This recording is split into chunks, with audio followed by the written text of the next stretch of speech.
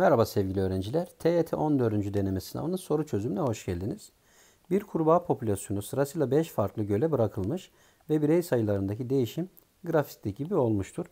Grafiğe göre kurbağa popülasyonunun hangi göle uyum sağladığı düşünülemez. Olumsuz yönde etkilenen tabii ki azalan popülasyondur. Hemen azalan popülasyona şöyle baktığımızda L'de azalma var. Cevabımız Bursa olacak. İkinci soru. Anne ve babanın kahverengi gözlü olduğu bir ailede 4 tane çocuk meydana gelmiştir. Bu çocuklardan 3 tanesi kahverengi gözlü, bir tanesi de mavi gözlü olmuştur. Şimdi hemen bakalım. Ee, şimdi mavi göz çekinik olduğu için çocukları şöyle bir tanesini şöyle yazalım. Anne baba kahverengi olduğuna göre ikisinde de birer tane e, baskın olan kahverengi geni var. Ve şuradaki çocuğun küçük ağlarını dağıttığımızda görmüş oluyoruz. Ha, diğer çocuklar nasıl olabilir? Diğer çocuklar böyle de olabilir. Böyle de olabilir. Bunu bilmiyoruz. Bu ailedeki bütün bireyler düşünüldüğünde aşağıdaki verilenlerin hangisi doğru olamaz? Kahverengi gözlü bütün çocuklar homozigot genotipli olabilir. Bakın bu kahverengi gözlü heterozigot. Bu da kahverengi gözlü homozigot. O zaman peki hepsi homozigot olabilir mi? Tesadüf kahverengi olan bütün hepsinde anne babadan büyük A büyük A gelmişse olabilir. O zaman olabilir dediği için doğru kabul ediyoruz. Mavi gözlü çocuk olması anne ve babanın melez genotipli olduğunu gösterir. Melez ne demek? Heterozigot demek. Evet anne baba heterozigot olduğu için yani melez olduğu için çocuk mavi gözlü doğmuş. Doğru kabul ediyoruz. Kahverengi gözlü iki çocuk bu karakter için farklı genotipte olabilir. Şimdi bakalım. Biri böyle olabilir, biri de böyle olabilir. O zaman farklı genotipte olabilirler. Bir, bu ailede oluşabilecek 5. çocuğun mavi gözlü ve erkek olma ihtimali ile mavi gözlü kız olma ihtimali eşit olur. Bakalım anne babayı bu durumda çaprazlamamız gerekecek. Hemen anne babayı çaprazlayalım. Büyük A, büyük A, büyük A, küçük A, büyük A, küçük A, küçük A, küçük A. Şimdi ne demiş? Mavi gözlü kız olma ihtimali. Kız olma ihtimali 1 bölü 2 çarpı mavi gözlü olma ihtimali o da 1 bölü 4 çarptığımızda 1 bölü 8 oluyor. Peki ee, burada sayı önemli değil. Ee, bunun dışında mavi gözlü erkek olma ihtimali ve mavi gözlü kız olma ihtimali. Şimdi mavi gözlü e, iki tarafta da mavi gözlü dediği için yine 1 bölü 2 çarpı 1 bölü 4 diyeceğiz. Yani sonuç değişmeyecek. İki tarafta mavi gözlü olduğu için cinsiyetler her zaman 1 bölü 2 olduğu için cevabımız yine burada 1 bölü 8 olacak. Aslında çarpmaya da gerek yoktu. Aile bireylerinin hepsinde birden çekinik genin bulunma ihtimali yoktur. Hepsinde de olabilir. Örneğin e, şöyle diyelim ma, e, mavi gözde zaten çekinik gen var. Anne babada zaten var. Ve doğan e, kahverengi gözlü çocuklarda eğer böyle olursa o zaman hepsinde çekinik gen olabilir. E, yoktur dediği için bunu kabul edemiyoruz. Hata var. Cevabımız Edirne olacak. Bakalım.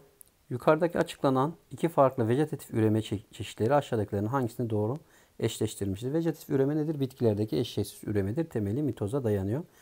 Kök gelişimi uzun süren bitkilerde uygulanır. Bitkinin toprağa yakın kısmından çıkan dal bitkiden ayrılmadan bük bükülerek ucu dışarıda hava ve ışık alacak şekilde toprağa bükülür. Yani bunu bitki gibi düşünün.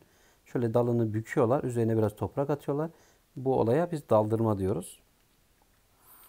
Bitkilerin kök, gövde ve yaprak gibi kısımlarından alınan bitki parçalarının uygun bir yerde köklendirilerek yeni bitkinin elde edilmesi. Burada da bir parçası koparılıp e, toprağa dikildiği için buna da ne diyoruz? Çelikle üreme diyoruz. Cevabımız burada da Bursa olacak. Dördüncü soru.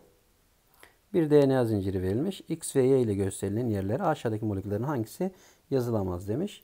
Bakın hep sıralama şu fosfat, şeker, organik baz, Öbür tarafta da yine organik bazlar karşılıklı gelecek. Sitozin karşısında her zaman guanin, timin karşısında adenin.